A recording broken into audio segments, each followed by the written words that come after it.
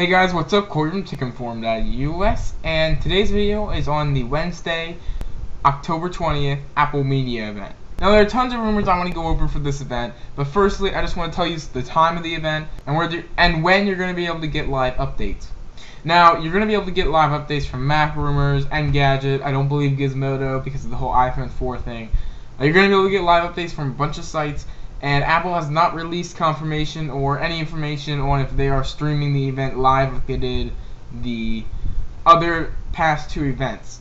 I personally hope they are streaming the event live because that, that really brings you personally into the product introduction and I think that'd be really cool. Uh, in the past, they've always just done pictures and stuff. They have not done anything from the event themselves other than the last event, so we'll have to see, but I really hope they stream it. It will start at 10 a.m. Pacific time and 1 p.m. Eastern time. If you're in another country, you just got to figure it out on your own. Sorry, I can't look at all time scales around the world.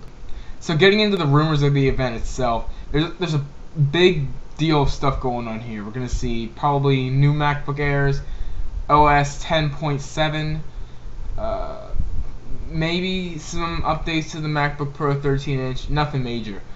MacBook Air, I think there's some new rumors going around, Mac rumors and some other blogs, that we might see a 11.6 inch MacBook Air. That would really bring it down a little bit closer to the iPad and really bring what everything's missing from the iPad to make it a really huge netbook competitor and bring it to the MacBook Air and be super, super thin. Also, we would probably see spec upgrades, maybe a Core 2 Duo or Core i3 inside the MacBook Air. If they were to update the MacBook Pro 13 inch, they would probably put an i3 in it and Core i3 chip, uh, just just because it's a little more with the time. Uh, Core 2 Duos are kind of fading out and they're getting a little old.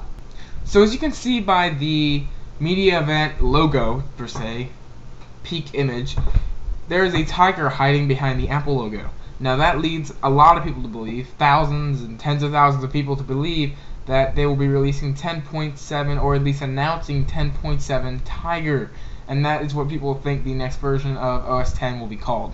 I personally hope they do. I think it's time for a huge unveiling of OS 10. OS 10 needs some improvements. They have some little things that they don't have that Windows has.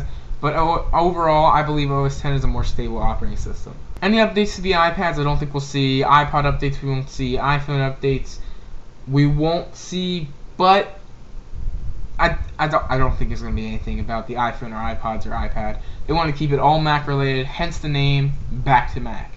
So those are my news, rumors, all my thoughts and opinions on the event. Uh, we'll, we'll, just have to wait and see. Uh, there's really only so much I can say about it, and we'll just have to wait and see what they do. So thanks, guys. Follow me on Twitter for exclusive content, twitter.com forward slash colt4595, and subscribe to me on YouTube, youtube.com forward slash colt4595. Thanks, guys. See you in tomorrow's video. Peace out.